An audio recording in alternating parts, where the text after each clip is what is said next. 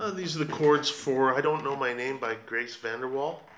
And the first chord we're going to start with is a C chord, and it looks like this. Now, you already know this note C, the first fret on the second string, first finger, and then you're going to take your second finger, put it on the second fret of the fourth string, and then your third finger on the third fret of the fifth string, and then try to just strum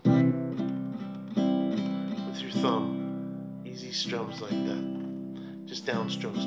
I don't know my. Now, I don't stop when I'm singing the song, but I'm stopping to show you the next chord. The next chord is an F chord. What you're going to do is take these two fingers and just drop them down a string, okay? And then strum the bottom four strings. For name, name. Now, if you can, flatten out so you can get the first and uh, second string at the first fret with your first finger, and it'll sound like this. Okay, so let's go back to C. One, two, ready, go. I don't know my name. Okay, and then the next chord is an A minor chord, and it looks like this. So what you got is your first fingers um, playing C, first fret, second string, first finger. Then Two and three are going to be like best friends and stick right together on the second fret of the fourth and third strings. I don't play by the... Now, I don't know the melody and the words very good.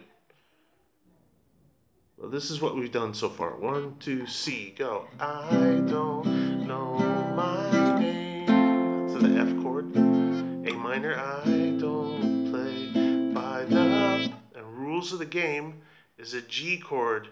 You're going to keep your first fingers off. It's going to look like it's over the fretboard, maybe even on a string, but it's not. It's just floating an outer space finger here, okay? So this finger is not playing anything.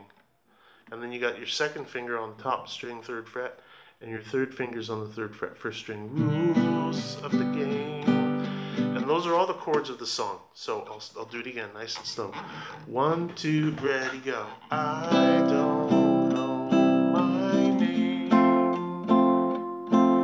minor. I don't play by the rules of the game. And uh, those are the chords I want you to practice this week.